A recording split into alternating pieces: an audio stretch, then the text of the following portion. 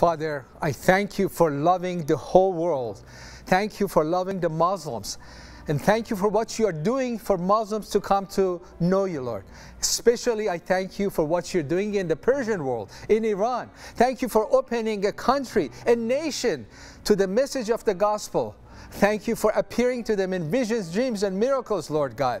Thank you for remembering the promise you gave to Abraham that those who bless you, they, you will bless them. Lord, thank you for remembering the Cyrus who blessed the Jews. I thank you for visiting Iran and Iranians and Persians in these days. Father, I pray what you have started that you finish, that Iran, according to Jeremiah 49 38, will become a Christian country, Lord God. And not just a Christian country, I pray that Iran will impact the whole Middle East and the whole world, Lord. I pray you raise up men and women in Iran who love you, who sacrificially serve you, Lord God. I pray you use what you're doing in Iran to transform not just Iran, not just the Persian world, that you will transform the Middle East, Lord.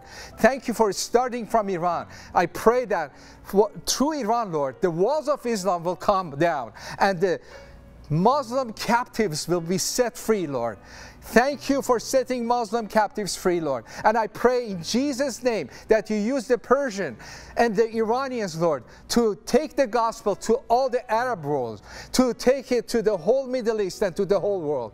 Thank you, Lord. And I pray you wake up your church. Wake up us to in the in the West, Lord, that we might see what you are doing, that we might join you, Lord God. I pray you raise up an army in the West who can join you in the Middle East and bring millions of Muslims to Christ, Lord God. Give us your heart, give us your love, and give us your power. In Jesus' name. Amen.